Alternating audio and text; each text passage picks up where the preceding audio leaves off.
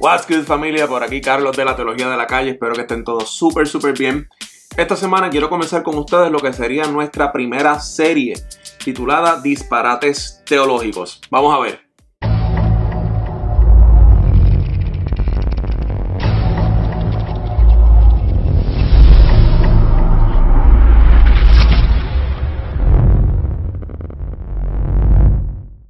Bueno familia, como les comenté esta semana, quiero comenzar con ustedes nuestra primera serie donde vamos a estar trabajando por capítulos eh, lo que yo considero son disparates teológicos. Y esta semana quiero compartir uno con ustedes bien importante y uno que hemos mencionado, que hemos dicho muchísimas veces en muchísimos lugares, incluyendo nuestras redes sociales. Y es la frase, la voluntad de Dios no te va a llevar donde su gracia no pueda alcanzarte.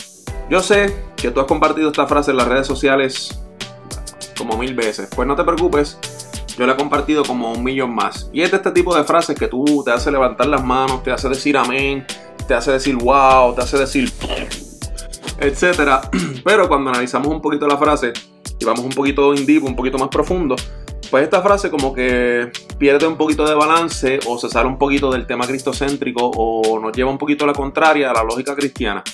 Vamos a ver. Lo primero sería que esta frase nos lleva a pensar, nos dice que la gracia de Dios tiene algún tipo de límites. Porque nos dice que la voluntad de Dios no nos va a llevar donde su gracia no nos pueda alcanzar. Si su gracia no nos puede alcanzar, entonces quiere decir que la gracia de Dios y Dios mismo tiene límites. Hay un espacio geográfico o un momento dado en el tiempo de nuestras vidas donde la gracia de Dios no nos puede alcanzar. Eso quiere decir que entonces Dios no es todopoderoso, quiere decir entonces que Dios no es soberano y quiere decir también que entonces la gran comisión o, ese pasaje bíblico en Mateo 28 donde nos envía a predicar el Evangelio a todos los lugares del mundo y hablar de las buenas nuevas de lo que Cristo ha hecho en nuestras vidas, pues entonces pierde como que valor o pierde eficacia, pierde eh, ese peso y esa importancia en nuestras vidas. Yo sé que muchas personas tratan de usar esta frase eh, de una buena manera y de alentar a las personas primero a decirles como que mira, la gracia del Señor eh, te va a llevar cuando estemos en su voluntad, la gracia de Dios nos va a guiar y no vas a pasar problemas o no vas a tener dificultades. O también la usan para decirte como, ah, no puedes ir a las discotecas porque la gracia de Dios no está allí, o no puedes ir a los bares, no puedes ir a la playa, no puedes ir al cine, no puedes hacer X, Y, Z porque la gracia de Dios no está allí. Bueno, si estamos diciendo eso entonces, quiere decir que Dios no tendría misericordia de muchísimos de nosotros que frecuentábamos esos lugares y que no nos hubiesen sacado de allí porque entonces el ojo de Dios no hubiese estado puesto en nosotros en esos momentos. Pero además de eso, el segundo punto es que la voluntad de Dios no siempre nos va a llevar a lugares donde no tengamos problemas o dificultades o sufrimientos, etc.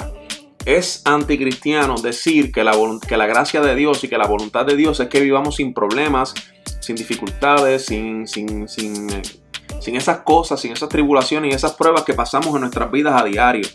Eh, la voluntad de Dios, por ejemplo, en la vida de los discípulos se cumplió, los doce discípulos de Jesucristo. Ellos vivieron la voluntad de Dios y Jesucristo mismo los escogió y ellos predicaron el Evangelio y por esos doce hombres el Evangelio ha llegado hasta nuestros días. Pero decir que la voluntad de Dios para ellos no era que sufrieran y que la gracia de Dios había lugares en el mundo donde su gracia no iba a estar con ellos es falso. 10 de esos 12 discípulos murieron en martirio predicando el Evangelio, fueron asesinados por predicar el Evangelio. El otro, eh, número 11, no murió en martirio, pero trataron de matarlo y aún así murió eh, desterrado perdón, en una tierra eh, lejana a la suya, en esclavitud.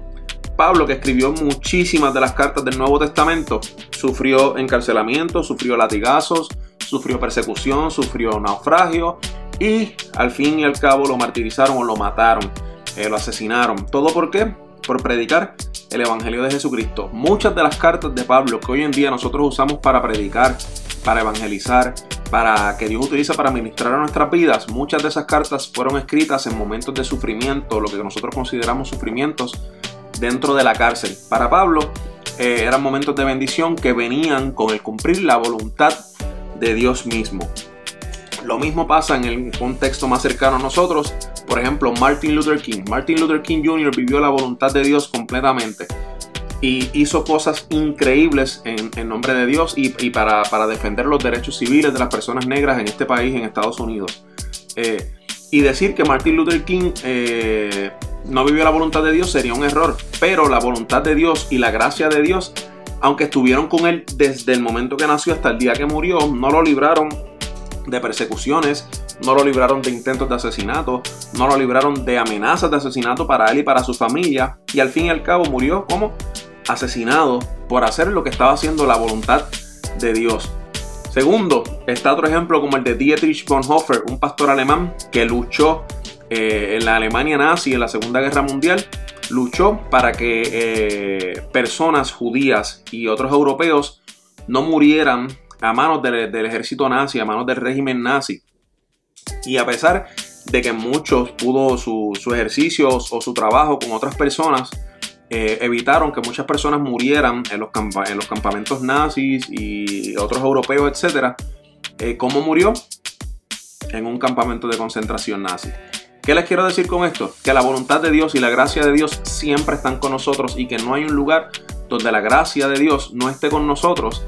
Eso no quiere decir que no vamos a sufrir y que la gracia buena, perfecta, eh, que la voluntad buena, agradable y perfecta de Dios es que no suframos. Ese versículo en Romanos 8 no nos quiere decir que la voluntad buena, agradable y perfecta de Dios es que no pasemos problemas y vicisitudes en este mundo. No, hay que entender el contexto de, ese versículo para entender qué Dios nos quiere decir. Y realmente la voluntad de Dios es que vivamos amando al prójimo y que vivamos dando testimonio de lo que Él ha hecho en nuestras vidas y que no vivamos como el mundo vive, que viven odiando, que viven rechazando a la gente, que viven segregando a las personas. Y entonces nosotros, la voluntad de Dios es que amemos a las personas y que no vivamos como vive ese mundo. No quiere decir entonces que la voluntad de Dios signifique no problemas, no dificultades, no tribulaciones, etc. Tercer punto que quiero compartir con ustedes de por qué esta frase me parece que es un disparate teológico es que no existe un lugar en esta tierra donde la gracia y el favor de Dios no esté con nosotros. Si nosotros creemos en Cristo y, hemos sido llamados y hemos confesado a Cristo y estamos eh, eh, y somos cristianos, somos discípulos de Cristo, eh, no hay un lugar en esta tierra donde su, su gracia no nos pueda alcanzar. De hecho, si miramos lo que significa gracia, es que Dios nos dio no lo que merecíamos, sino lo que necesitábamos. Lo que nosotros merecíamos naturalmente era el castigo y el rechazo de Dios y de hecho eso es lo que significa infierno, no...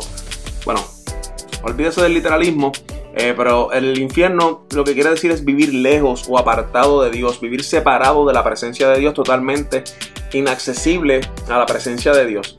Eso era lo que merecíamos, pero realmente lo que necesitábamos era ser salvos, salvos, perdón, de nosotros mismos. Y Cristo entonces, Dios envió a Cristo a este mundo para acercarnos a Dios. Dios mismo vino a este mundo para acercarnos a la presencia de Dios mismo y que podamos vivir en el paraíso de la presencia de Dios. ¿Qué quiero decir entonces con esto?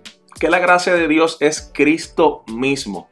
No hay nada en este mundo, como nos dice Romanos 8, creo que es el versículo 38 versículos 38 y 39. No hay nada en este mundo, ni lo alto, ni lo bajo, ni lo porvenir, ni lo futuro, ni potestades, ni ángeles, ni principados. Nada en este mundo nos puede separar de la gracia y del amor de Dios. Y la gracia y el amor de Dios se vio reflejado a través de Cristo. La gracia de Dios es Cristo. Así que nada, decir que habría límites para la gracia de Dios en esa frase es decir, que hay límites geográficos y límites en nuestras vidas donde Cristo no nos puede alcanzar, donde la gracia de Dios y el sacrificio de Cristo no serían suficientes para nuestras vidas. Y eso sí es un mega disparate. Bueno familia, el punto entonces de esta semana es que analicemos todas las frases que compartimos, que le ponemos en las redes sociales, que muchas veces nos dan un montón de likes, de follows, de shares, de corazoncitos, etcétera pero que muchas veces la lógica detrás de ese pensamiento, aunque es con buena intención, se dista o sea, se, distancia un poco de lo que realmente nos habla la palabra del Señor. Así que analicemos un poquito más y recuerda también compartirnos si tú crees que hay una frase que sea un disparate teológico, coméntanos abajo en los comentarios, eh, déjanos saber y tal vez entonces la semana que viene o en las próximas semanas eh, la compartamos con ustedes. Recuerda entonces también seguirnos en todas las redes sociales, como ven ahora que está sonando el teléfono, en Instagram, Facebook, YouTube, Twitter, como la teología de la calle. Suscríbete a nuestro canal de YouTube y comparte el video con esas personas que tú entiendes eh, que va a ser de bendición para ellos y que al igual que tú y al igual que yo hemos usado esta frase hasta la saciedad. Bueno familia, será entonces hasta la semana que viene. Les mando un fuerte abrazo. Les habla Carlos de la Teología de la Calle. Dios los cuide.